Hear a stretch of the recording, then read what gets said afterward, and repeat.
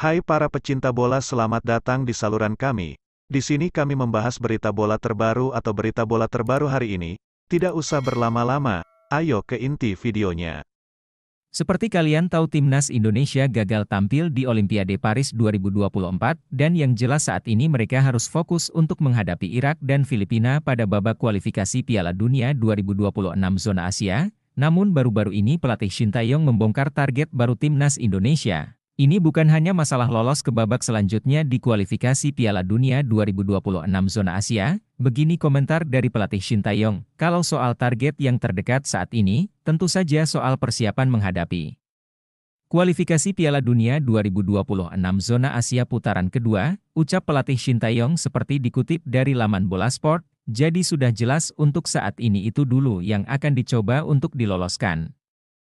Sehingga step by step untuk target selanjutnya, kata pelatih timnas Indonesia tersebut, selain itu perihal AFF, saya jelas ingin juara, namun itu harus banyak yang masuk ya, masuk akal dan banyak yang pas juga. Tapi dengan skuad kami saat ini saya berani bicara, kami pasti juara kalau ikut AFF lagi. Dan bisa dikatakan kita pasti bisa merebut gelar di AFF, minimal kita tidak akan kalah bersaing untuk mendapatkan trofi juara, tegas pelatih Shin Taeyong.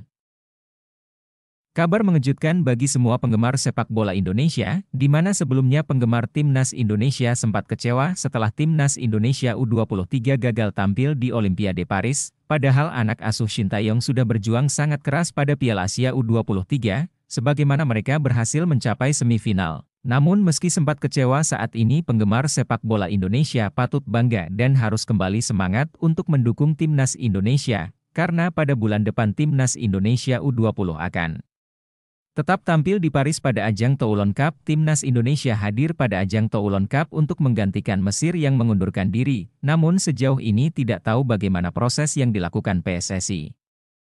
Sehingga bisa mengirim tim ke turnamen yang diikuti pemain berusia 17-23 tahun ini, namun yang jelas itu merupakan langkah terbaik untuk timnas Indonesia, apalagi baru-baru ini media asing yang berasal dari Vietnam langsung memberi pujian kepada timnas Indonesia setelah dipastikan akan tampil pada ajang Toulon Cup. Begini komentar dari media Vietnam Sohaven, mengadopsi usia untuk bersaing dengan tim-tim yang benar-benar kuat seperti tim Italia, Ukraina dan juara bertahan Panama, ini akan menjadi peluang besar untuk mengasah kemampuan mereka dan meningkatkan level profesional tim Indonesia untuk tim Indonesia U20 akan menjadi peluang besar untuk menuju turnamen besar di masa depan seperti SEA Games 2026 kualifikasi U23. Kata media Vietnam Sohaven.